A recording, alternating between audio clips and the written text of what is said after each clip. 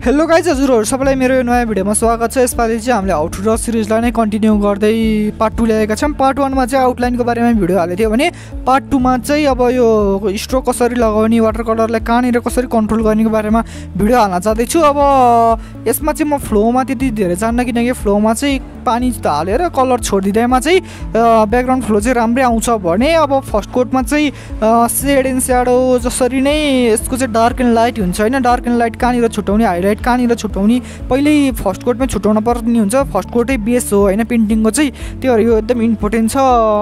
त्यही हो फर्स्ट कोटको बारेमा म पछि नै भिडियोमा कभर गरिहाल्छु। ल भिडियोलाई अगाडि बढाऊँ। ल पानीले पुरै भिजाएर अनि कलरहरू छोडिदिएर हामीले फ्लो त सकिसक्यो भने अब हामी फर्स्ट कोटतिर लाग्छौँ।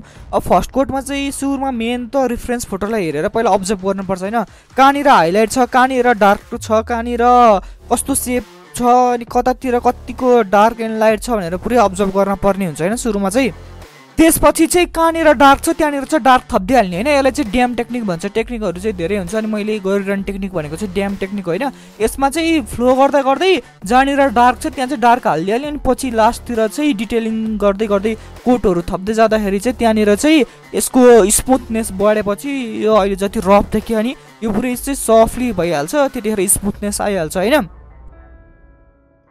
आर्ट गराउँदाखेरि चाहिँ सकेसम्म ठुलो ब्रस लिएर आर्ट गर्नु होइन किनकि ठुलो ब्रसले तपाईँले स्ट्रोक लगाउनु भयो भने कन्ट्रोल बस्छ फ्युचरको लागि होइन अनि कलरहरू पनि पुरै कन्ट्रोलमा जान्छ अनि ठुलो ब्रसले चाहिँ के हुन्छ भन्दाखेरि एकैचोटि चाहिँ वरिपरिको एरियाहरूले कभर गर्छ जसको कारणले चाहिँ स्मुथनेस चाहिँ सुरुमै आउँछ नत्र फर्स्ट कोड चाहिँ एकदम रफ जस्तो लाग्छ तर पछि डिटेलिङ गर्दै जाँदाखेरि चाहिँ स्मुथनेस त आइहाल्छ जसरी पनि होइन तर इम्प्रुभमेन्टको लागि चाहिँ सबैभन्दा ठुलो ब्रस युज गर्दै बेस्ट हुन्छ होइन? सके त बिस नम्बरकै युज गरौँ नसके सोह्र नम्बर अब होइन तपाईँलाई सोह्र नम्बर पनि सुरु सुरुमा कन्ट्रोल गर्न गाह्रो हुन्छ भने चाहिँ बिगिनर हुनुभयो भने चाहिँ बाह्र नम्बरको युज गर्दा पनि केही जाँदैन।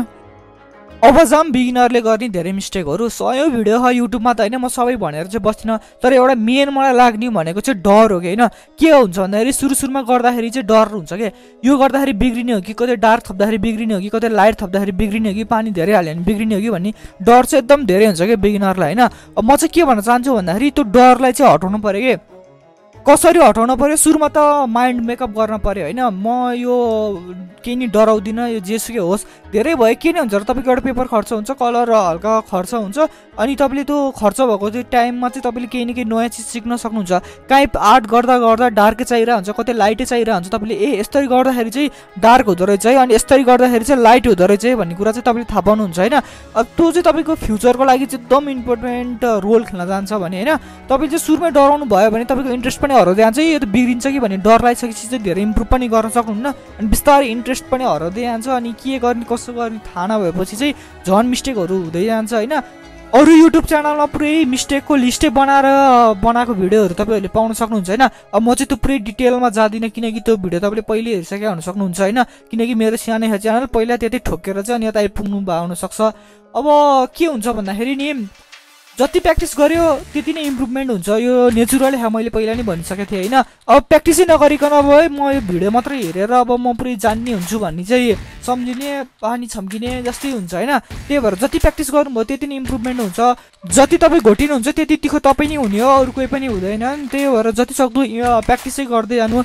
बरु एक दिनमा पुरै चार पाँच घन्टा बस्नु भन्दाखेरि डेली एक डेढ घन्टा एक डेढ घन्टा दुई घन्टा जति चाहिँ बरु बस्नु होइन सके त डेली छ घन्टै सक्नुहुन्छ भने बस्नु तर सबैको टाइम त्यसरी मिलिरहेकै हुँदैन होइन। कोही कतै काम गर्न गइरहेको हुन्छन् कोही कतै पढ्न गइरहेको हुन्छन् त्यही भएर त्यति टाइम चाहिँ निस्किन्न ल। अब चाहिँ हामी हेयर कसरी बनाउनेतिर लागौँ होइन। हेयर बनाउँदाखेरि चाहिँ त्यही हो बेसिक कन्सेप्ट अघि मैले भनिसकेँ होइन।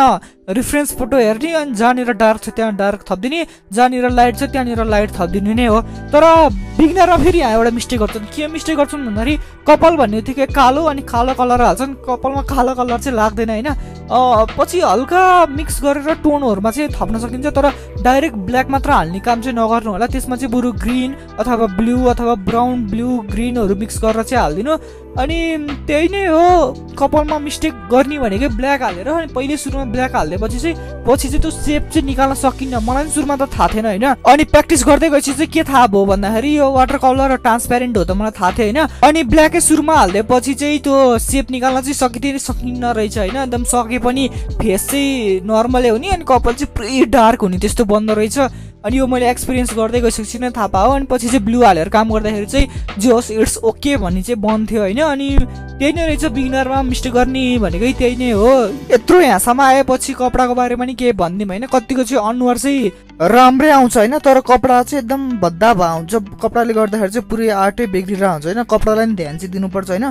तर अनुहार जति डिटेल चाहिँ गर्नु पर्दैन किनकि अनुहार चाहिँ यो प्रदीप खड्का हो भने प्रदीप खड्कै बनाउनु पर्छ होइन? तर कपडा चाहिँ हरियो कपडा छ भने हल्का हल्का निलो टाइपको कपडा बनाउँदा नि बिग्रिया त हुन्न नि त तर अनुहार चाहिँ बिग्रिने हुन्छ। त्यही भएर कपडामा नि म त्यति डिटेलमा जान्न मेन फोकस भनेको अनुहारै हुनेवाला कपडाको बारेमा नि केही न केही त हल्का फुल्का टिप्सहरू त दिइरहेको हुन्छु कपडालाई नि टाइम चाहिँ दिनुपर्छ है। टाइम नदिकन केही पनि राम्रो चाहिँ बन्दैन।